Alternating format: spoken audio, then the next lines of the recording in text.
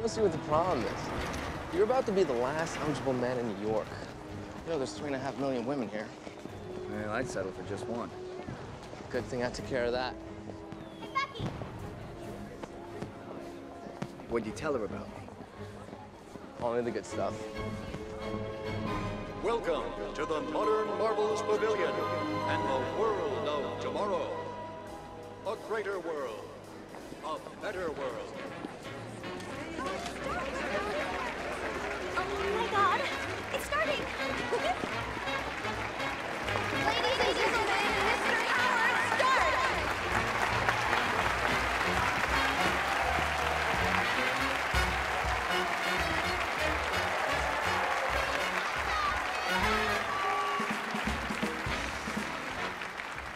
Ladies and gentlemen, what if I told you that in just a few short years, your automobile won't even have to touch the ground at all?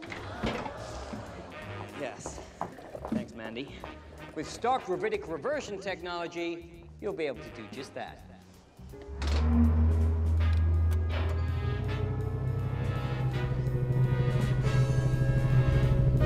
Holy cow.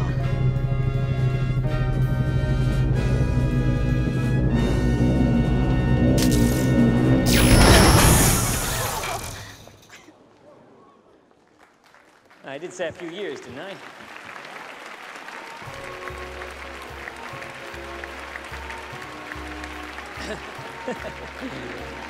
Hey, Steve, what do you say we treat these girls?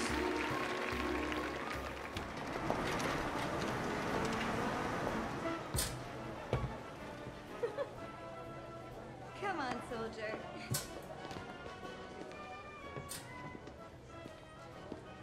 Come on, you're kind of missing the point of a double date. We're taking the girls dancing. You go ahead, I'll catch up with you. You really gonna do this again? Well, it's a fair. I'm gonna try my luck. As who, Steve from Ohio? If they'll catch you, worse, they'll actually take you. Look, I know you don't think I can do this. This isn't a back alley, Steve. It's war. I know it's a war. You Why, don't have to why are you so keen to it's a war. fight? There's so many important jobs. What do you want me to do? Collect scrap metal Yes. in my little red wagon? Why not? I'm not going to sit in a factory, Bucky. Bucky, come on. There are men laying down their lives. I got no right to do any less than them. That's what you don't understand. This isn't about me. Right. Because you got nothing to prove. Hey, Sarge! We going dancing? Yes, we are.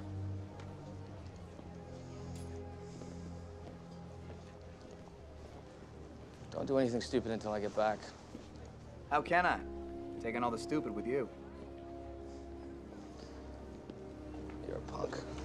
Jerk. Careful. Don't win the war till I get there.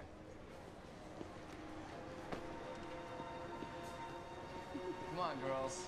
We're Playing our song.